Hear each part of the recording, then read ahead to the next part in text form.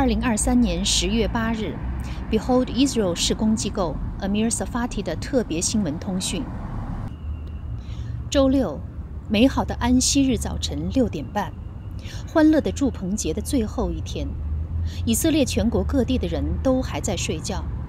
在距离加沙边境仅五公里的以色列南部，一场有一千多名年轻人参加的通宵欢庆活动刚刚开始接近尾声。这些人却不知道，在这个风平浪静的日子里。巴勒斯坦恐怖组织哈马斯即将以从未使用过的能力对以色列发动多层次、全面的袭击。许多无人机向沿着边境围栏的各个以色列军事哨所投掷炸弹，使得沿着加沙边境的地面指挥系统立即失效。结果没剩下任何人能向上级领导报告所发生的事情。与此同时，火箭弹开始从加沙发射到以色列。先是数百枚，然后是数千枚，这样发射火箭并不罕见。不同寻常的是，有大量的导弹这一次突破了以色列的铁穹防御系统。所有这些行动都是为了掩护第三次袭击。这是加沙地带以前从未发生过的袭击。边境围栏被冲破，有些地方甚至被完全推倒。一千多名恐怖分子从围栏的缺口涌入以色列境内。有些人坐着汽车或卡车进来，有很多人骑着摩托车进来，他们都是来追捕犹太人的。他们在以色列境内最早发现的一批人群是参加一个欢庆派对的年轻人。恐怖分子包围了参加聚会的人，并且开枪，超过两百六十人被屠杀，其他人则被围捕并作为人质带回加沙。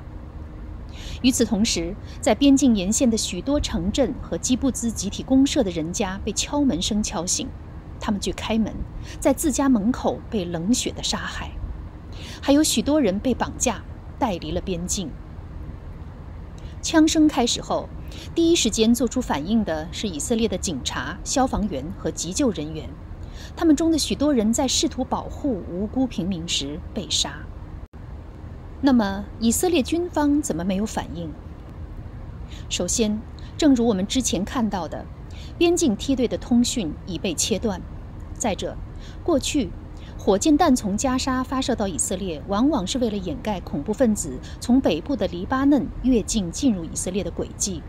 结果这一次，很多特种部队的行动分队都去错了方向。以色列军方花了四个小时才做出协调一致的反应。这个行动后来被定名为“铁剑行动”。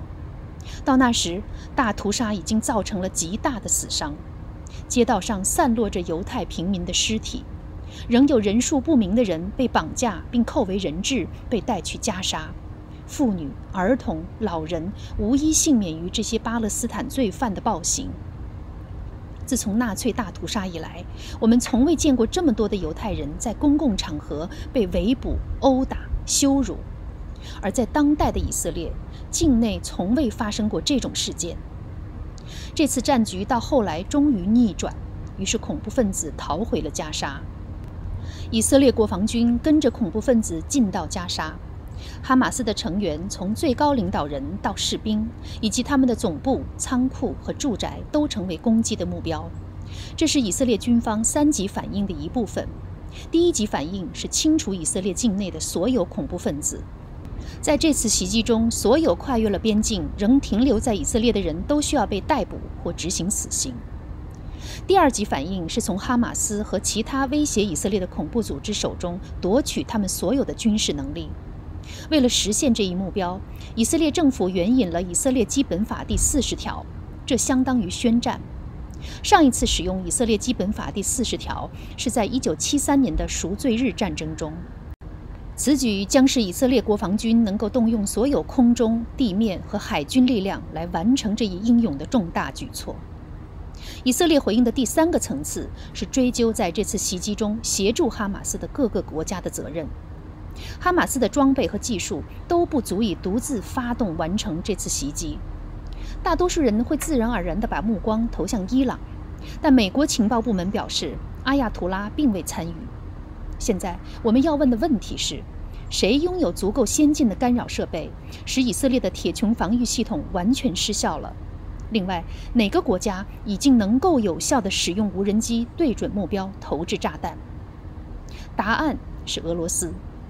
由于以色列不断扩大天然气出口，同时俄罗斯与以色列的各个敌人，包括伊朗、叙利亚和黎巴嫩等的关系不断加深，莫斯科和耶路撒冷之间的关系一直在恶化。我的最新小说《来自遥远的北方》（Out of the Far North）。深入探讨了这种日益严重的国际违规行为。要想知道如何有效地确保这种情况不再发生，我们必须了解导致这次攻击的原因，以及必须采取什么措施才能保证这种情况不再发生。这次恐怖行动与过去的不满无关，与土地无关，与自由派政客和媒体会提出的任何其他借口无关。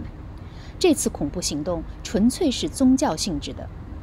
他们给这次袭击起的名字就证明了这一点。这次袭击行动名叫“阿克萨洪水行动”。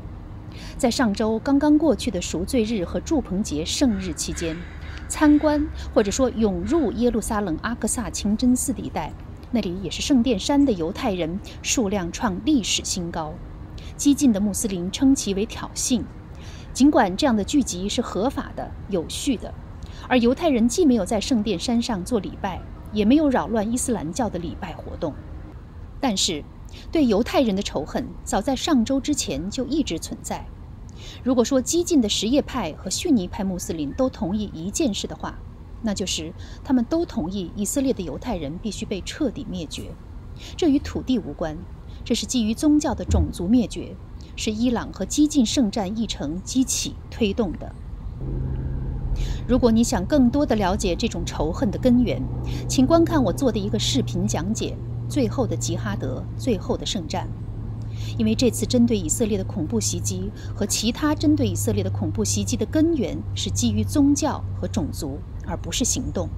所以我们知道，作为犹太人，我们无法阻止他们再次袭击我们。我们所能做的就是剥夺他们袭击我们的能力。接下来，以色列必须恢复其威慑力，无论是基于对我们以色列军队实力的尊重，还是通过让每一个潜在的恐怖分子都感到恐惧。他们必须明白，如果他们考虑加入圣战分子，那么他们的家人和家园可能会发生什么。此外，以色列还必须消灭哈马斯。为此，以色列国防军必须停止关心世界会说什么，媒体会说什么。现在必须要毫不留情了。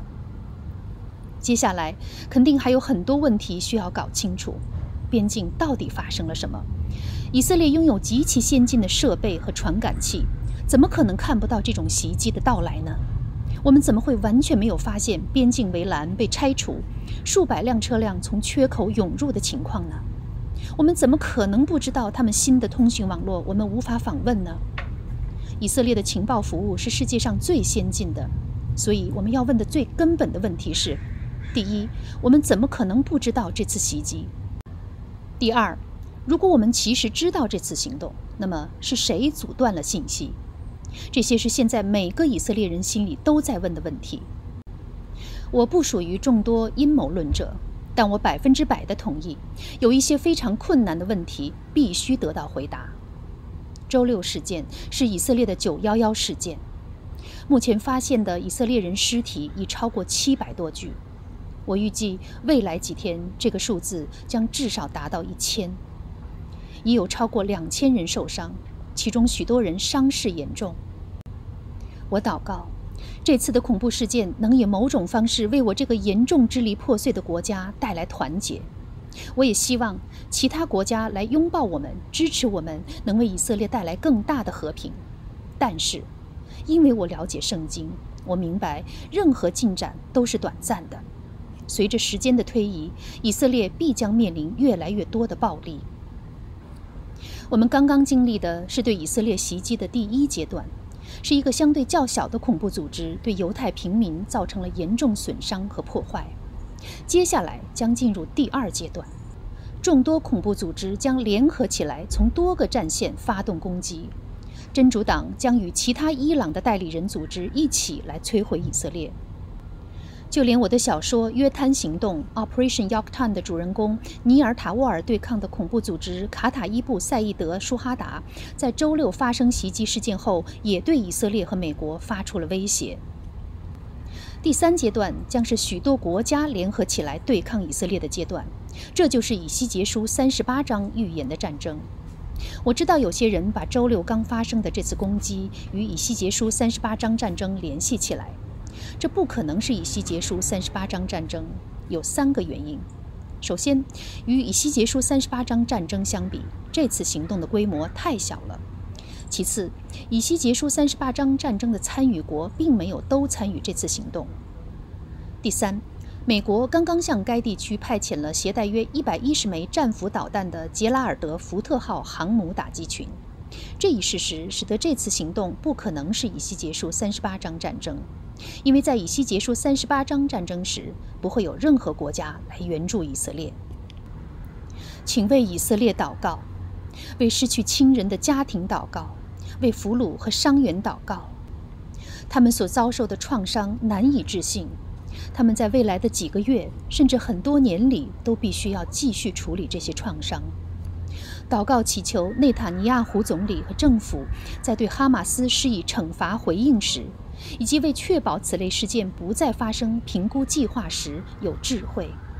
最重要的是要祷告神借此事件得荣耀。我为我的国家和人民而心碎。在这样的时刻，我唯一能找到安慰的地方就是圣经。耶利米哀歌三章四十六到五十节，五十五到五十七节。我们所有的仇敌都张开口攻击我们，我们遭遇的只是恐惧、陷阱、毁坏和灭亡。我的眼泪像江河流下，都因我的人民的灭亡。我的眼泪永流不停，总不止息，直到耶和华垂顾，从天上关注。耶和华啊，我从坑的最深处呼求你的名。你曾经垂听我的声音，现在求你，不要掩耳不听我求救的呼声。我每逢呼求你的时候，你就靠近我说：“不要惧怕。”我们等候主回来。